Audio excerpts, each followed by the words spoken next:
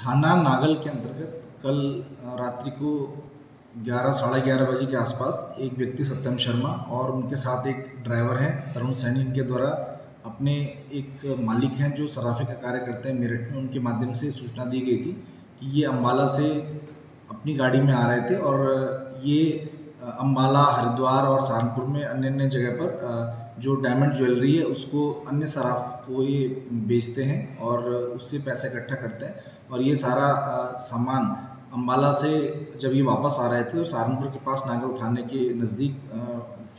जो रेलवे फाटक पड़ता है, उसके आगे जाकर चार अज्ञात बदमाशों के द्वारा इनकी गाड़ी को रोक कर उससे तोड़फोड़ की गई और उसके बाद ये जो सामान भरा जो बैग था, जिसमें डायमंड की ज्वेलरी थी, वो वहाँ से लूट कर ली गई। इस पूरे प्रकरण में जो पुलिस के द्वारा इसमें पूछताछ की गई, पूछताछ करने के बाद इसमें दोनों ही के बयानों में कुछ अंतर विरोध आया उस बयान के आधार पर इन दोनों से और सख्ती से पूछताछ की गई तो इन दोनों के द्वारा बताया गया कि इसमें जो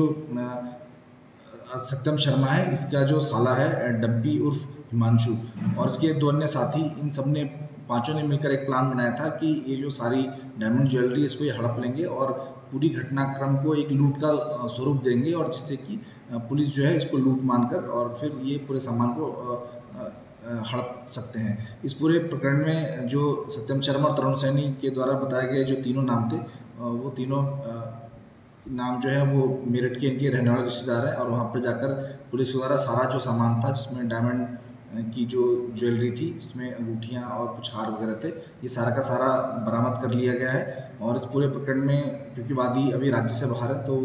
वो आकर इसमें तहरीर देंगे उसके आधार पर इसमें मुकदमा पंजीकृत करके ये पाँचों ही लोगों को गिरफ़्तार करके जेल भेजा जाएगा। इस पूरे प्रकरण में जो भी सामान वादी का गया था, वो सारा का सारा रिकवर कर लिया गया। और, जो भी दोनों लोग थे सत्यम शर्मा और तरुण सैनी, इन दोनों के द्वारा ही पूरी प्लानिंग करके सारा सामान को हड़पने की नीयत से इस पूरी घटनाक्रम को, लूट की घटना